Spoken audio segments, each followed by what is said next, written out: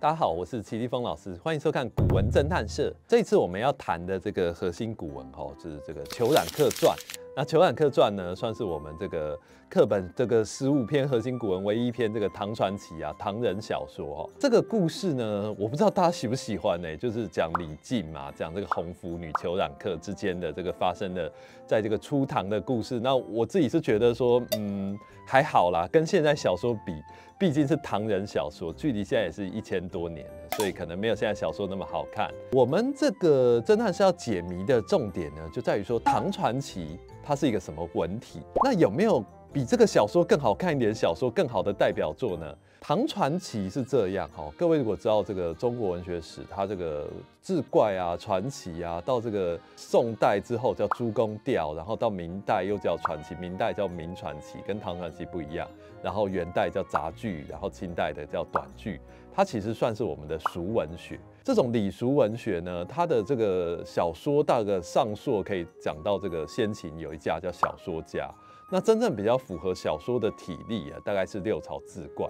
那讲到六朝志怪呢，各位知道我们趋势有做一系列这个六朝小学堂，就在谈这个志怪的问题，大家也可以再去这个收看一下。那志怪我们一般说它是蚕虫小语啊，那所谓蚕虫小语就是说它的篇幅比较短，它也不太讲那种。呃，可能起承转合有头有尾，他就讲一个事件，讲完就结束。那相对来说，传奇哦，唐人传奇，它其实比较长。那这个洪迈，宋代的这个笔记小说家，他评论唐传奇，他用八个字，他说：“小小事情，哀婉欲绝。”那这个小小事情不是说这个事情很小，他指的是说他讲的只是一个才子佳人的简单的故事，因为唐传奇大部分是士人写的，是这些那个唐代科举嘛，就是为了考科举的士人温卷之用写的，所以他们大概都是写才子佳人的题材，那只是很小，可能就是那种呃男女之间的感情，但他会写得非常的曲折，令人动容。那当然，各位现在读未必觉得啦，因为就如果讲的时间已经过一千年，它的功能相对于志怪是通常是世人在聊天时作为谈话的素材，叫谈资。那唐传奇呢是用来做问卷，所以功能性也不太一样。这个是唐传奇诞生的原因啊。那你可能想说，为什么唐传奇可以当成科举考试问卷之用？问卷就是说在考试之前先给主考官看嘛，因为就如我刚刚讲的才子佳人的故事，所以他们两个对话啊，大概都会。中间会夹杂一些诗，那因为唐朝科举进士科主要是考诗嘛，所以说给主考官那个老师，这是我写的诗，他可能想说啊，一堆人给我诗不想看，那你就说，哎，老师我这个写一篇小说，他可能就想说，哎，小说我来看一看，然后看到中间有诗，就觉得哎，这个人诗才不错，所以他这个时候就有机会在科举得到晋升。那唐传奇其实。呃，我们过去也蛮多电影是改编自唐传奇的，各位未必知道，像侯孝贤导演的这个《刺客聂隐娘》，他就改编自这个聂隐娘。那这个无极是陈凯歌导演的，他是改编自一篇叫做《昆仑奴》这样子。昆仑奴也蛮有趣的，这个故事就是昆仑本来是指昆仑山是一个想象地方，但这边昆仑奴其实是指黑奴啦。那有人说这个黑奴是印度裔，也有人说是非洲裔。那这个因为我们现在年代比较久远，所以还不太不太确定。这样，他故事在讲说一个公子他的爱妾被抢走，然后这个昆仑奴呢走得很快，很善走，其实就跑得很快啊。所以这昆仑奴就去帮他救回来，这样。那我们今天想跟大家补充的是，我自己觉得很有代表性的，就是被称为唐传奇压卷之作的这个杜子春哦。杜子春这个故事，它时代是发生在周隋之间，就北周到隋朝之间。那杜子春是一个商人啊。他说杜子春经商失败，然后衣服也破了，肚子也很饿，然后走在长安，天色已经很晚了，他也没有饭吃，然后他就不知道去哪里，那然后就仰天长叹嘛，就觉得说，哎呀，我这个呃天亡我矣哦，那么有才的，我现在居然没办法好好发挥。然后这个时候呢，就有一个老人拿着拐杖走到杜子春身边，然后就问了他一句话，就是你在叹气什么？男子汉大丈夫，对不对？在那边叹气。然后杜子春就想说啊。我在这边好像游民一样，大家都远远离我，只有一个阿北这样子过来关切我，然后就开始跟他讲很多，就是说感激之气发于颜色。古文感激是很激动的意思，就是说啊，我以前有钱的时候亲戚都很都很待见我啊，然后现在都没有人理我啊，这样。这个阿北讲话也很实在啊，他就是听了那么多，就是就钱的问题嘛，对？那吉敏则风用，多少钱你就够用了？杜子川就说啊，带三五万就可以。各位可能会有一个疑问，就是说唐朝的三五万跟我们现在的三台币三五万哪个比较多？这个陈颖克老师有做过一些考证啊。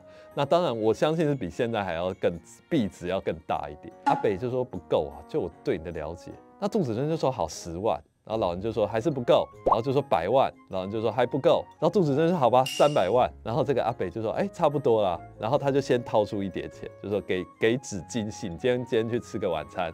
明天午时呢，我在这个长安的西市，大家知道长安有九个市集，很大的城市。然后我在西边市集的波斯底，波斯人的那个宅邸前面等你，把三百万给你。那你如果没来就没有了，就拿不到了。时间到，杜子春就去，果然这个阿北就给他三百万，不告姓名而去，没有告诉他是谁。这个在我们现在有点像那种中大乐透的状况啊。那杜子春也就是这个心态，就是哎有钱了，荡心付次。开始过以前的爽快的生活，乘肥衣轻，肥是指名马啦，以前是肥马，就是很壮的马嘛，就是在在我们现在就是说开名车，然后穿那种名牌的衣服，会酒徒真施主，歌舞于苍楼，开始每天都去什么金钱豹这样过着呃快意的这个浪荡子的生活，又忘记说他拿拿着三百万是要做生意，然后一二年间呢，这个钱就差不多花完了，车马衣服。衣柜重建，对，本来是这个开玛莎拉蒂，现在就是变成开头又大，然后后来又变成骑 U bike，然后最后就变走路，对不对？一开始骑马，后来骑驴，后来变骑走路，然后就跟一开始一样穷。那我中间也揭露了，就是他第二次碰到老人嘛，老人就说：“哎呀，子泽给你三百万，一下就花完，OK，给你一千万。”杜子川还没有拿到时，本来就发奋，就说：“哎，我这个一定要好好用。”然后一拿到一千万，又心又幡然，对不对？重视之情却又如故。三四年之前又把一千万拜金完，你可能会想说，这个该不会还会遇到第三次？对，果然就遇到第三次。这个故事啊，杜子川在唐传奇是叫这个名字，他在三言二拍里面呢，叫做杜子川三入长安。他就在讲说，他三次遇到这个老人的这个奇遇啊。那第三次又在同样的地方遇到老人，杜子春也算是有点羞耻心，就掩面而走。那老人呢，就拉住他的袖子，就说：“哎呀，搞什么东西，皆乎琢磨，也就是你搞搞什么？”但是也没有放弃他，再给他三千万，就说：“你如果再给你三千万，你还不好好用，则只贫在膏肓矣。”我们现在都说病入膏肓。他是说贫在膏肓，就穷到骨子里了。那杜子春就说落魄的时候，我亲戚豪族理都不理我，只有你这个阿北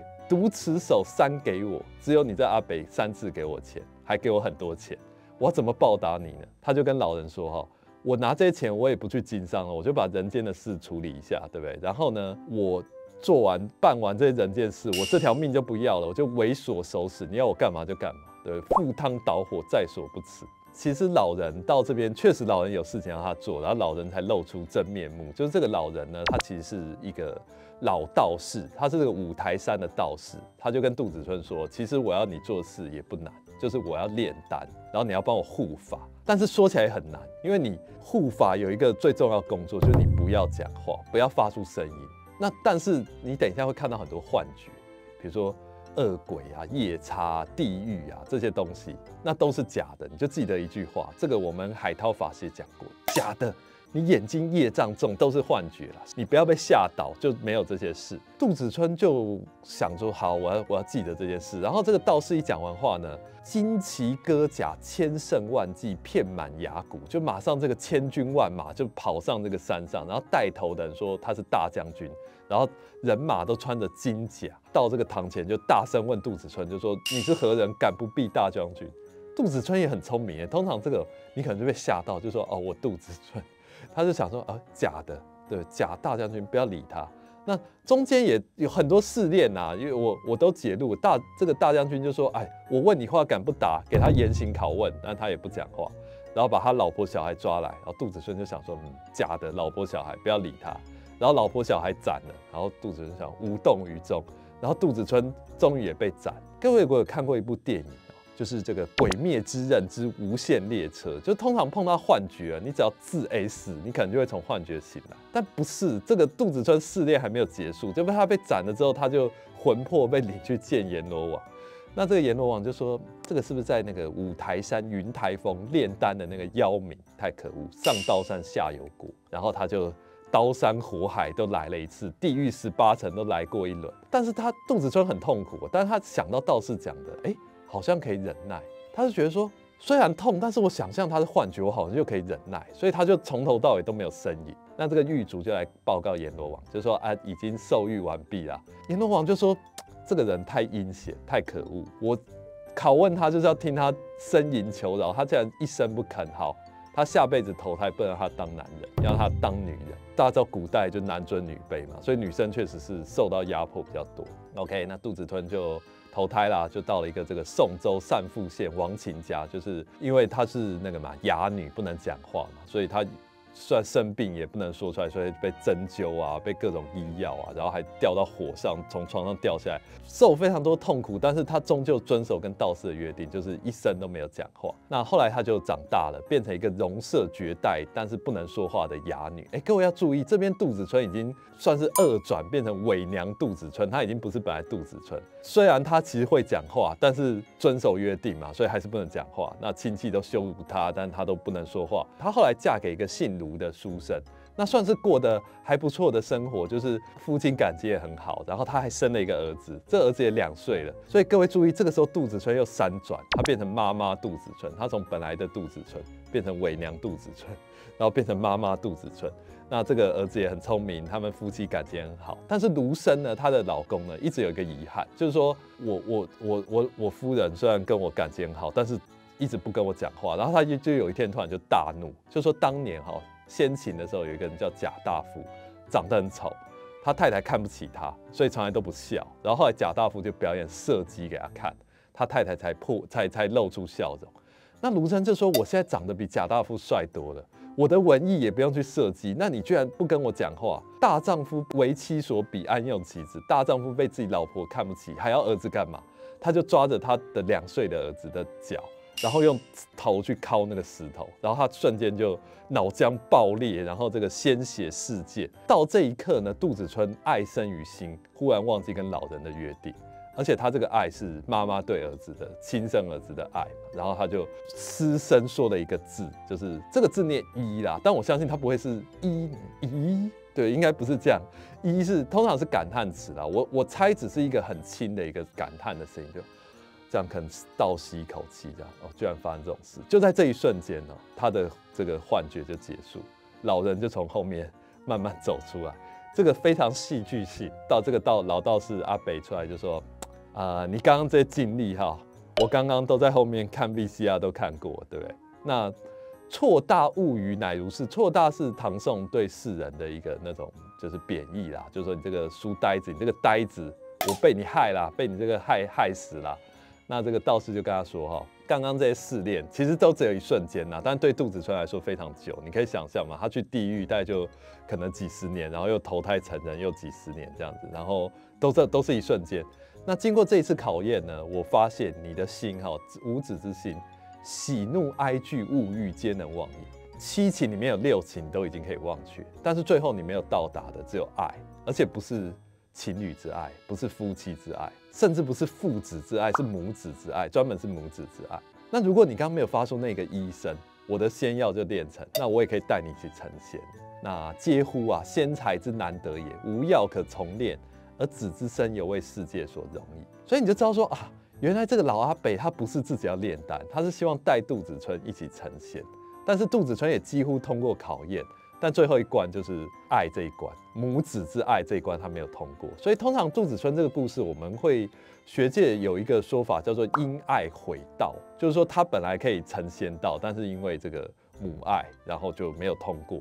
那当然，我们看这个故事，我们也可以反思看看，就是说一个人啊成仙但是很好的，但是如果连这种母子之爱，就自己儿子在你面前被脑浆爆裂，但你都无动于衷，那其实你也就是真的也不像人的嘛。你确实可以成仙，但这样的仙人是你想要当的吗？是你愿意当的吗？我自己觉得它戏剧性非常强的故事了。所以我们来做个总结，就是说你可以看到，呃，六朝志怪到唐唐人传奇哈，其实是差别蛮大的。你唐传奇的故事性确实是比较曲折。那这个所谓小小事情哀婉欲绝，就它可能只是一件事，就是一个奇遇、一个仙境，或者是才子这样的故事，但是是他不断的去转折这个故事，让它增加它的那个情感性啊，增加它的这个故事性。所以我们一般会认为，哈，就是我这边讲第三个。小说在中国文学史里面，到了唐传奇呢，它才比较符合小说的一个特质。那六朝志怪只是有点像史传嘛，像新闻这样记录一件事。到了唐人小说，它真正就是有世界观、有角色，然后有一个转折。然后像像杜子川这个故事，它游了地狱，然后二次人生，对不对？就是我觉得现在就是拍成电影，你也会觉得说，哎，这是一个好像蛮好看，与神同行这样的故事的电影，这样子是蛮蛮精彩的故事。那今天我们的古文侦探社呢，就跟大家介绍到这边，谢谢大家。